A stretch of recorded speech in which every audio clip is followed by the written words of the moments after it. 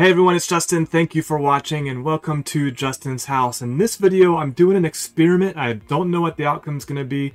I'm going to change a field type live and I don't know if I'm going to lose my data or not. So you should know I've already backed everything up. I used an export set, sent it over to my mid server. I've got a backup of it and what you're looking at here is all the features that I've been tracking and you can see down here on the bottom I've been working really hard. It's 644 features that I've actually laid eyes on, I've reviewed, categorized, all that stuff.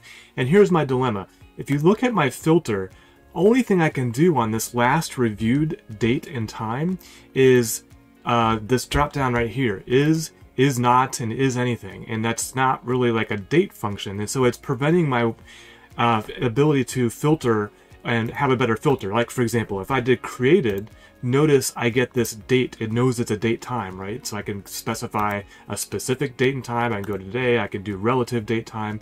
But my last reviewed date isn't working like that, and it's frustrating. So um, I'm going to do this live. I'm actually going to change this. I'm going to move over to Studio. I've got the field up here. Now, this is what is interesting.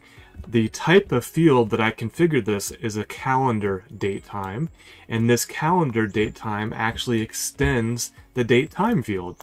Um, if I look at that created date time, it is a date time field, like you can see right there. But if I look at what I configured, what Justin configured, it's this field right here, calendar date time. So I'm going to set it back, and we're going to see what happens.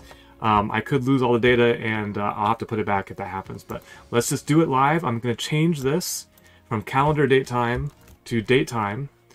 Will it let me? We won't even know. Will it let me do it? Let's see here. Date time. There we go. Just took a little second there.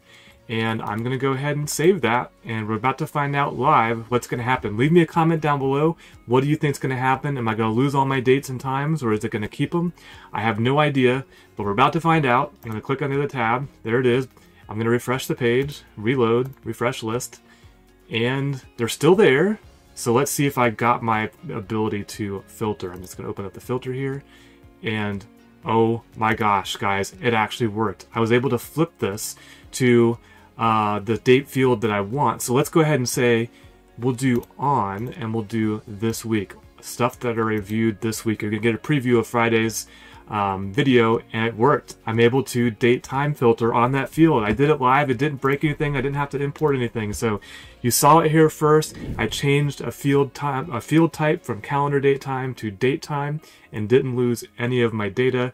I'm so happy. I hope you found this video helpful. If you did, please like, please subscribe, or share it with somebody who you think is bold enough to go change field types on data that's really important to them. And until next time, don't forget to always be learning.